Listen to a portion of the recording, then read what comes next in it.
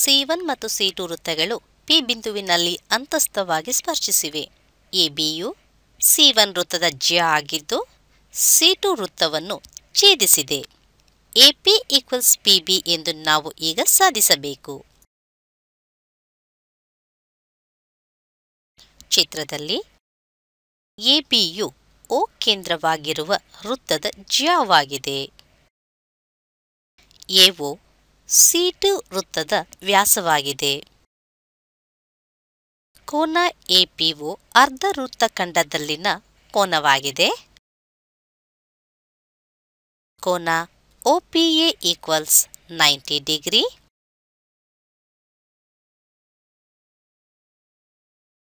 ಈಗ ತ್ರಿಭುಜ ಎಒಪಿ ಮತ್ತು ತ್ರಿಭುಜ ಬಿಒಪಿಯನ್ನು ಗಮನಿಸಿ. ಇದರಲ್ಲಿ ಎಒ ಈಕ್ವಲ್ಸ್ ಬಿಒ ಇವು ಒಂದೇ ವೃತ್ತದ ತ್ರಿಜ್ಯಗಳು. Angle OPA equals angle OPB equals ninety degree. OP ಉಭಯ ಸಾಮಾನ್ಯ ಬಾಹುವಾಗಿದೆ. ಹಾಗಾಗಿ ತ್ರಿಭುಜ ಎಒಪಿ ಮತ್ತು ತ್ರಿಭುಜ ಬಿಒಪಿ ಸರ್ವ ಸಮ ತ್ರಿಭುಜಗಳು. ಆದ್ದರಿಂದ ಎಪಿ ಈಕ್ವಲ್ಸ್ ಬಿಪಿ ಎಂದು ಹೇಳಬಹುದು. ಈ ಚಿತ್ರವನ್ನು ಗಮನಿಸಿ. ಬಾಹ್ಯವಾಗಿ ಸ್ಪರ್ಶಿಸುವ ವೃತ್ತಗಳ ತ್ರಿಜ್ಯಗಳು ಮೂರು ಸೆಂಟಿಮೀಟರ್, ನಾಲ್ಕು ಸೆಂಟಿಮೀಟರ್ ಮತ್ತು ಐದು ಸೆಂಟಿಮೀಟರ್ ಆಗಿವೆ. ತ್ರಿಭುಜ ಎಬಿಸಿಯ ಸುತ್ತಳತೆಯನ್ನು ಇಲ್ಲಿ ಕಂಡುಹಿಡಿಯಬೇಕು. ಎಬಿಯನ್ನು ನಾವು A P plus B P ಎಂದು ಬರೆಯಬಹುದು. ಎ ಬಿ ಮತ್ತು ಬಿ ಪಿಗೆ ಬೆಲೆಗಳನ್ನು ಆದೇಶಿಸಿ. ಆಗ A B equal seven centimetre ಆಗುತ್ತದೆ. ಅದೇ ರೀತಿ B ಸಿಯನ್ನು B Q plus Q C that is equal to four plus five that is equal to nine centimetre ಎಂದು ಬರೆಯಬಹುದು. ಈಗ ಸಿ ಎಯನ್ನು ಗಮನಿಸಿ. ಸಿ ಎ ಅನ್ನು CR plus R A that equal to two plus plus three that equal to two eight centimetre ಎಂದು ಬರೆಯಬಹುದು. ABC ತ್ರಿಭುಜದ ಸುತ್ತಳತೆ ಅಂದರೆ ಎಲ್ಲ ಬಾಹುಗಳ ಮೊತ್ತ. ಇವುಗಳನ್ನು ಕೂಡಿದಾಗ ಇಪ್ಪತ್ನಾಲ್ಕು ಸೆಂಟಿಮೀಟರ್ ಬರುತ್ತದೆ. ಎರಡು ವೃತ್ತಗಳು ಬಾಹ್ಯವಾಗಿ ಪಿ ಬಿಂದುವಿನಲ್ಲಿ ಸ್ಪರ್ಶಿಸಿವೆ. ಎಬಿ ಮತ್ತು ಸಿಡಿ ವ್ಯಾಸಗಳನ್ನು ಸಮಾನಾಂತರವಾಗಿ ವೃತ್ತದಲ್ಲಿ ಎಳೆದಿದೆ. ಈಗ ಬಿಪಿಸಿ ಒಂದು ಸರಳ ರೇಖೆ ಎಂದು ನಾವು ಸಾಧಿಸಬೇಕು. ಆಕೃತಿಯನ್ನು ಗಮನಿಸಿ. ಸಿ ಒನ್ ಮತ್ತು ಸಿ ಟು ಎರಡು ವೃತ್ತಗಳು.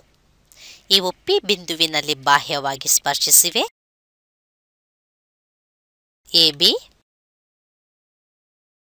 ಮತ್ತು ಸಿ ಡಿ ಇವು ವ್ಯಾಸಗಳು. ಸಮಾನಾಂತರವಾಗಿವೆ ಈಗ ಬಿಪಿ ಪಿಸಿ ಎಪಿ ಮತ್ತು ಪಿಡಿಗಳನ್ನು ಸೇರಿಸಿ.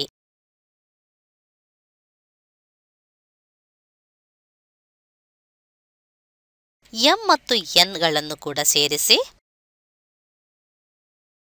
ಸಿ ವೃತ್ತದಲ್ಲಿ ಎಬಿ ವ್ಯಾಸವಾಗಿದೆ. ಆದ್ದರಿಂದ ಕೋನ A P B equals ninety degree ಇದು ಅರ್ಧ ವೃತ್ತಖಂಡದಲ್ಲಿನ ಕೋನ. ಅದೇ ರೀತಿ ಸಿ ಡಿ ಸಿ ಟು ವೃತ್ತದಲ್ಲಿ ವ್ಯಾಸವಾಗಿದೆ. ಹಾಗಾಗಿ ಕೋನ D P C equals ninety degree ಇದು ಕೂಡ ಅರ್ಧ ವೃತ್ತಖಂಡದಲ್ಲಿನ ಕೋನ.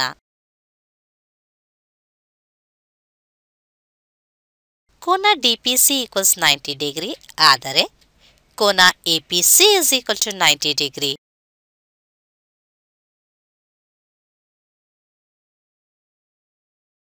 ಹೇಳಿಕೆ ಒಂದು ಮತ್ತು ಎರಡರಿಂದ angle AP B plus angle APC is equal to one eighty degree ಎಂದು ಬರೆಯಬೇಕು.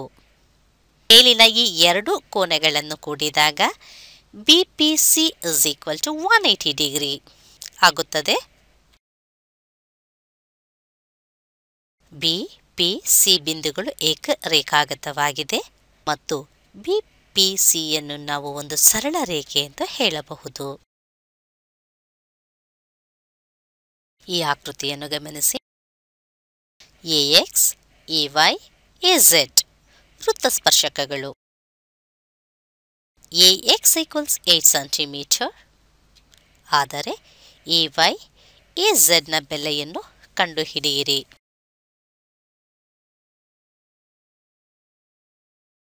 ಚಿತ್ರದಲ್ಲಿ ಸಿ ಒನ್ ವೃತ್ತಕ್ಕೆ ಎಳೆದ ಸ್ಪರ್ಶಕಗಳು ಎ ವೈ ಮತ್ತು ಎ ಝೆಡ್ ಆದ್ದರಿಂದ A Y equals A Z ಎಂದು ಹೇಳಬಹುದು.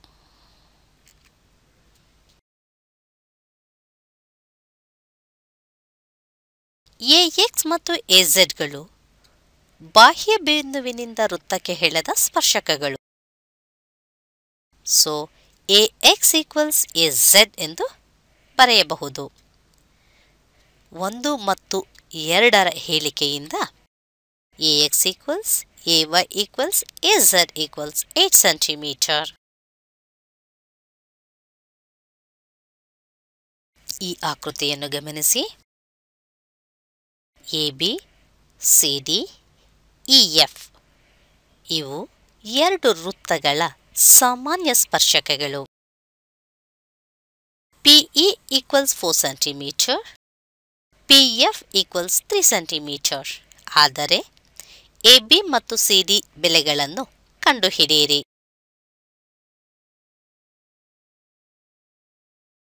ಈ ನಿಂದ ಎ ಮತ್ತು ಇಪಿಗಳು ವೃತ್ತ ಸಿ ಒನ್ಗೆ ಎಳೆದ ಸ್ಪರ್ಶಕಗಳು.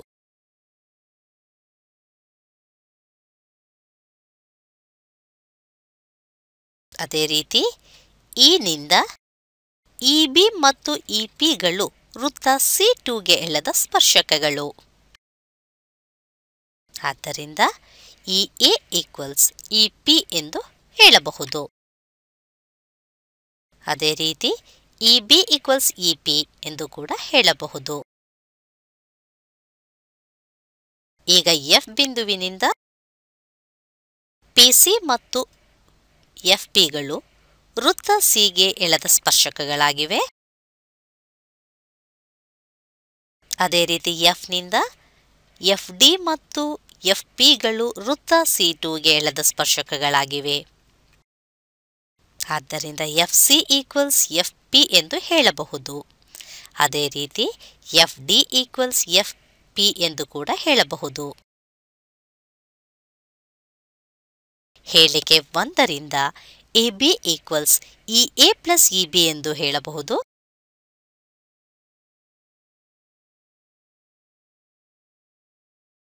E A equals E B equals E P ಆಗಿರುವುದರಿಂದ ಎ ಬಿಯನ್ನು ಟು ಇ ಪಿ ಎಂದು ಬರೆಯಬಹುದು. So E P R P ಇಗೆ ನೀವು ನಾಲ್ಕು ಸೆಂಟಿಮೀಟರ್ ಅನ್ನು ಆದೇಶಿಸಿದಾಗ ಎ ಬಿಯ ಬೆಲೆಯು ಎಂಟು ಸೆಂಟಿಮೀಟರ್ ಆಗುತ್ತದೆ. ಅದೇ ರೀತಿ ಸಿ ಡಿಯನ್ನು ನಾವು F C plus F D ಎಂದು ಬರೆಯಬಹುದು. F C plus F D equals F P ಆಗಿರುವುದರಿಂದ ಸಿ ಡಿಯನ್ನು ಟು ಎಫ್ ಪಿ ಎಂದು ಬರೆಯಬಹುದು. ಈಗ ಪಿ ಎಫ್ ಆರ್ ಎಫ್ ಪಿಗೆ ನಾವು ಮೂರನ್ನು ಆದೇಶಿಸಿದಾಗ ಸಿಡಿಯ ಬೆಲೆಯು ಆರು ಸೆಂಟಿಮೀಟರ್ ಆಗುತ್ತದೆ.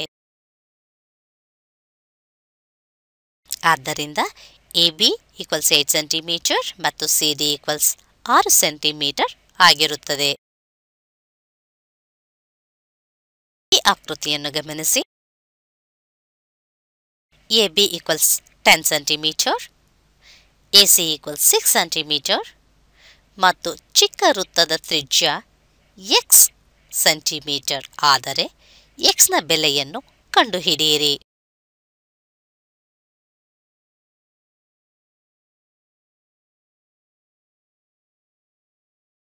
AO equals O B equals five centimetre ಬಿಸಿಯನ್ನು ನಾವು ಎ ಬಿ ಮೈನಸ್ ಎಸಿ ಎಂದು ಬರೆಯಬಹುದು.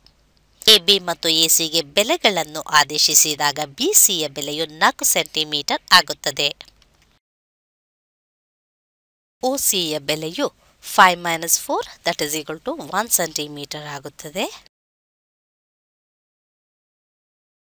O Q equals O B ಎಂದು ಬರೆಯಬಹುದು. ಸೊ, ಇದರ ಬೆಲೆಯು ಐದು centimetre.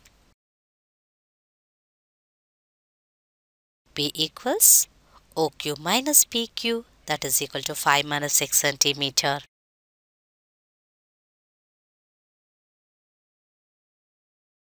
P C O ಬಿಗೆ ಲಂಬವಾಗಿದೆ. ತ್ರಿಭುಜ O OP square O P to OC plus P C square ಬೆಲೆಗಳನ್ನು ಆದೇಶಿಸಿ. ಎಕ್ಸಿನ ಬೆಲೆಯನ್ನು ನಾವು ಇಲ್ಲಿ ಕಂಡುಹಿಡಿಯಬಹುದು. ಎಕ್ಸಿನ ಬೆಲೆ ಟೂ ಪಾಯಿಂಟ್ ಫೋರ್ ಸೆಂಟಿಮೀಟರ್. ಚಿಕ್ಕ ವೃತ್ತದ ತ್ರಿಜ್ಯ ಟೂ ಪಾಯಿಂಟ್ ಫೋರ್ ಸೆಂಟಿಮೀಟರ್ ಆಗಿರುತ್ತದೆ. ಈ ಆಕೃತಿಯನ್ನು ಗಮನಿಸಿ. ಓ ಕೇಂದ್ರವುಳ್ಳ ವೃತ್ತದಲ್ಲಿ ವ್ಯಾಸ ಎ ಬಿ ಮತ್ತು ಜ್ಯ ಡಿಗಳನ್ನು ಎಳೆಯಿರಿ. ಓಎ ವ್ಯಾಸವಾಗಿರುವಂತೆ ಮತ್ತೊಂದು ವೃತ್ತವು ಎಡಿಯನ್ನು ಸಿನಲ್ಲಿ ಕತ್ತರಿಸುವಂತೆ ಎಳೆಯಿರಿ. ಆಗ B D equals to O C ಎಂದು ಸಾಧಿಸಿ. ಚಿತ್ರದಲ್ಲಿ ಸಿ ವೃತ್ತದಲ್ಲಿ ಎ ಬಿ ವ್ಯಾಸ ಮತ್ತು ಎಡಿ ಜ ಆಗಿರುತ್ತದೆ. ಕೋನ ಬಿ ಈಕ್ವಲ್ಸ್ ನೈಂಟಿ ಡಿಗ್ರಿ. ಮತ್ತು ಕೋನ A C O equals ninety degree, ಏಕೆಂದರೆ ಇವು ಅರ್ಧ ವೃತ್ತಖಂಡದಲ್ಲಿನ ಕೋನಗಳು.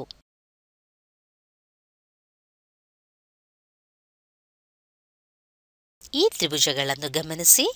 ತ್ರಿಭುಜ ಎ ಡಿ ಬಿ ಮತ್ತು ತ್ರಿಭುಜ ಎ ಸಿ ಓ ಇವುಗಳಲ್ಲಿ ಕೋನ ಎ ಡಿ ಬಿ ಈಕ್ವಲ್ಸ್ ಕೋನ A C O equals ninety degree. ಕೋನ ಡಿಎಬಿ ಮತ್ತು ಕೋನ ಸಿಎಒ ಸಮವಾಗಿರುತ್ತದೆ, ಏಕೆಂದರೆ ಇವು ಉಭಯ ಸಾಮಾನ್ಯ ಕೋನಗಳು. ಆದ್ದರಿಂದ ತ್ರಿಭುಜ ಎಡಿಬಿ ಮತ್ತು ತ್ರಿಭುಜ ಎಸಿಒಗಳನ್ನು ಸಮರೂಪ ತ್ರಿಭುಜಗಳು ಎಂದು ಹೇಳುತ್ತೇವೆ.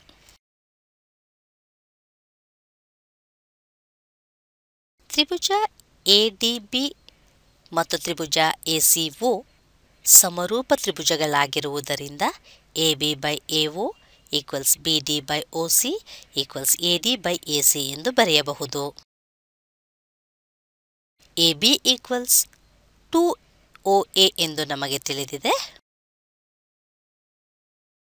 ಎ ಬಿಗೆ ಟು ಒ ಎ ಆದೇಶಿಸಿ. ಆಗ B due to O C ಆಗುತ್ತದೆ.